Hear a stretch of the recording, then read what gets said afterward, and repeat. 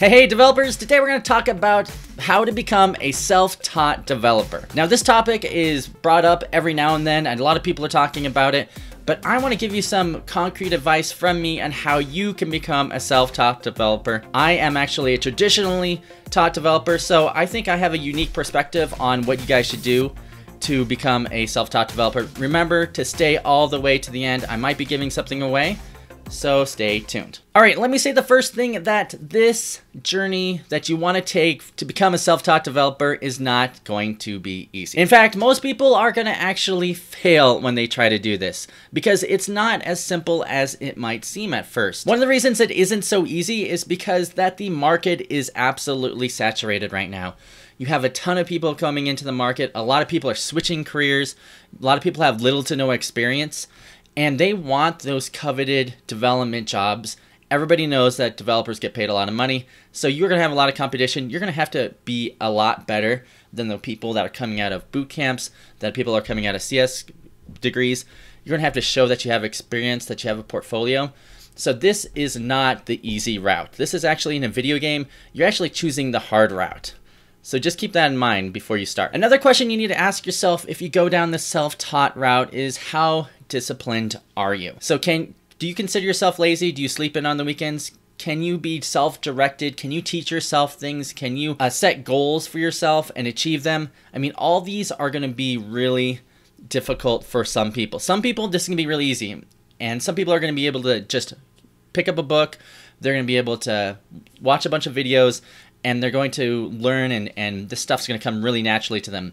But for some people, it's just not the right fit. That's why we have traditional education. That's why we force our students, force everybody at a certain age to go to school. And that's because for a lot of people, that's the best route, but it's not for everybody. So self-taught programmers, this is the route that you're going to choose. It's probably one of the cheapest routes, but it's definitely not going to be the easiest. So keep that in mind. And if you find out some way in between doing your self-taught journey that you don't have the discipline to learn, that you're not getting the results you want, you may want to consider at least looking at an online program like an online boot camp or an in-person boot camp or even maybe a traditional computer science education or at least go to a community college and take some classes in the nights and weekends. Because most community colleges are pretty cheap and they offer Java classes, C Sharp classes, web development classes, so you may want to consider that too. So you decided that you think you are self-disciplined enough, that this is the right route for you. You're going to go in the hard mode in life because you think this is the best way to go. And I'm not trying to discourage people, but it can be difficult for some people. So the first thing you want to do is set a goal. So you have to be really clear on what you're trying to achieve. The worst thing you can do is when you're trying to become a self-taught developer is just to try little bits of different things. You know, these type of people that spend a half hour, you know, they spend a half hour on one thing and then the next day they're a half hour another another thing. I mean, you need to really focus your goal down. So if you want to become a web developer, pick what you want to be a web developer in, pick a framework, make sure you learn the basics of JavaScript, HTML, CSS, but then if you think the best route is going to React, go to React. Think it's best is Angular, go to Angular. Or one of my favorites, Vue.js. So you really need to choose and narrow down the path that you want to go to. Make sure that there's jobs in the area that you that are available for the area that you're choosing. Second thing I want to say that there is so many different resources out there that I can't even name them all. Of course, one of my favorite is Udemy. I have some amazing $10 courses. Actually, they're when they're on sale, they're $10 on the links in the description below. There's some cool courses. I mean, Colt Steele's course is 43 hours uh, for $10 when it's on sale. Even when it's not on sale, it's still probably a pretty good deal. So there's tons of courses. Of course Free Code Camp. Uh, my buddy Coding Tutorials 360 is a huge fan of it. So Free Code Camp is awesome. Um, I mean, there's Team Treehouse, and there's just tons of information out there. There's tons of people blogging about development. There's tons of books. You can just go to your library and start renting, you know, taking out some books to look at. So there's tons of resources. But so you have to, with your goal in mind, pick up the books, the online courses, the free YouTube videos of what you want to learn and start going through those resources. And just don't just read them. Just don't don't just watch them. Actually put together the projects.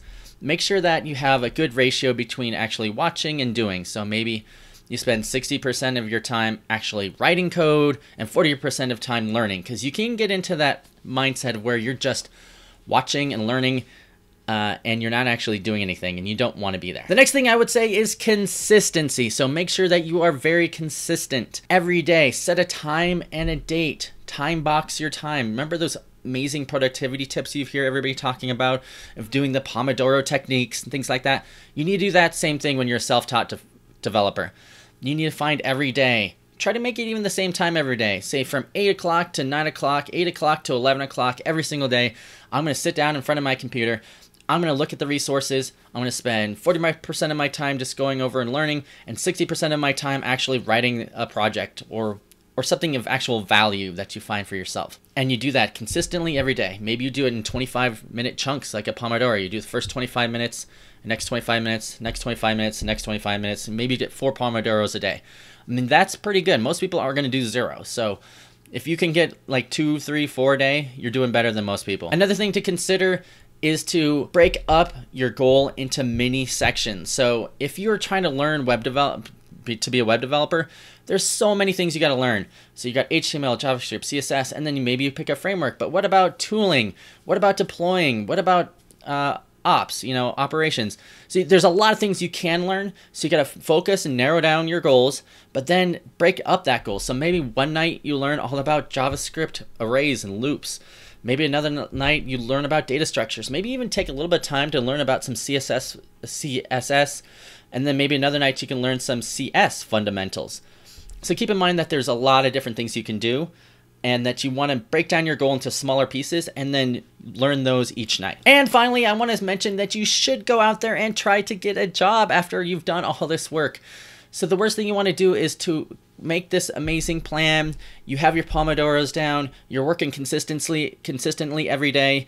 You've reached all these milestones and then you actually slack off in doing one of the most important things you should probably doing and that is to try to get a job and try to get a job sooner than later as soon as you're comfortable even when you're maybe not 100% comfortable start looking for those jobs maybe look for an internship a paid internship if you can but start putting your name out there and start getting used to getting to going to uh, interviews. You're going to start seeing some patterns.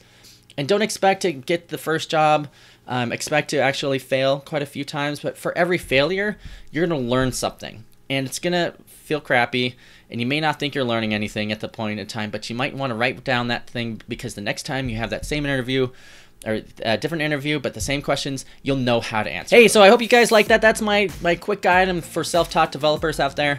I mean, those are just some quick tips. If you guys like it, I mean, tell me below what you guys think of some great ways to prepare for how to become a self-taught developer. Um, agree, disagree, let me know in the comments below.